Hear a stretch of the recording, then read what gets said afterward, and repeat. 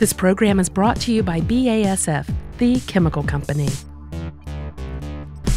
Hey, welcome to Stuff to Blow Your Kids' Mind. My name is Robert Lamb. And my name is Julie Douglas, and today we are talking about the scale of the universe. When you look up into the night sky, everything up there looks very small, and the world around us looks huge. I mean, just think about the scale of the planet. Most of us haven't explored half of it, much less all of it.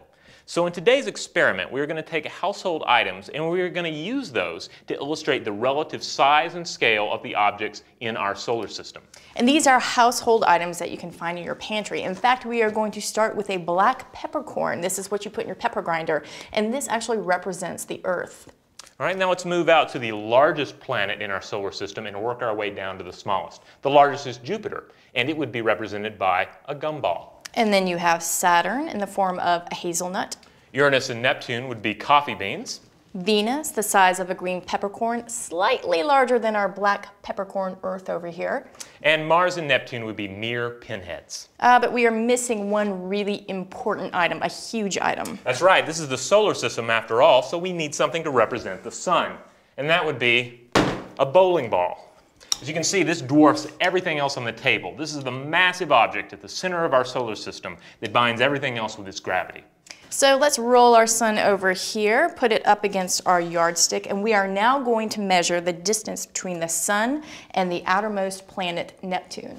Yes, this is a yardstick, a yard in length, but we would need a thousand of these end to end to illustrate exactly uh, how far it would be from our bowling ball shaped sun to our pinhead planet here.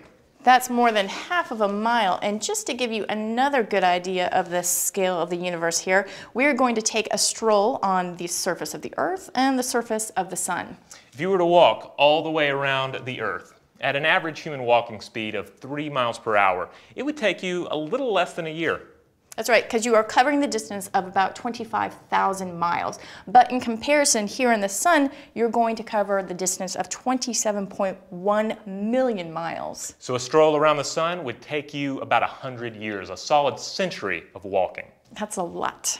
So the next time you look into the night sky and you think how small everything looks up there, and think how big everything seems around you here on Earth, just remember that it's actually the other way around.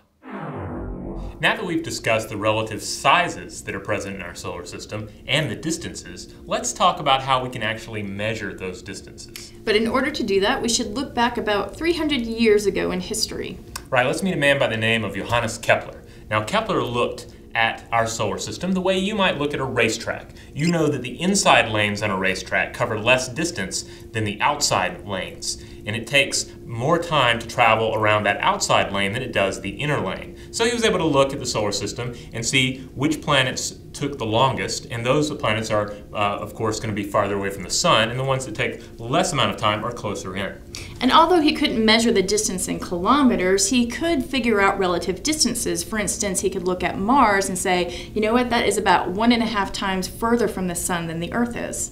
Another old-timey method that we had uh, to figure out exactly how far planets are from one another in our solar system uh, is something called the parallax method. And That's it right. involves your finger. You can do this at home if you'd like. Just close one eye, open it, close the other one, and keep doing this back and forth, and you're going to see that it appears that your finger seems to be moving just a little bit. And that's because you have an angle from each eye that's different and that's separated by a couple of inches. There was another astronomer by the name of Giovanni Cassini who in the 17th century said, I'm going to take this idea and I'm going to apply it geographically. So what if I could put one eyeball here in Paris, another in South America, and everybody looks up at the night sky at Mars and he takes a little bit of geometry and he figures out the relative distance from Mars to the sun and he comes up with a figure that's only 7% off of our more precise measurements. A more modern method that we have is to actually send radar waves out into the solar system, let them bounce off of another planet and return to us. We know how fast those waves travel, so we can just time them and in order to figure out exactly how far they have traveled. Okay, so we've talked about this journey around the solar system and the relative distances. Let's see what happens when we exit our system and go into the Milky Way. Wow, a journey into interstellar space? Is that even possible? Well, not for you and me, but for something called Voyager 1, it could happen pretty soon.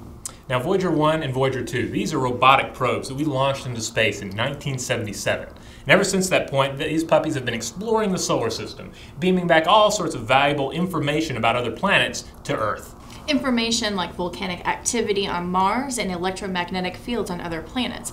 But before we can talk about what it's like to exit a solar system and go into another tour into interstellar space, let's talk about the sun.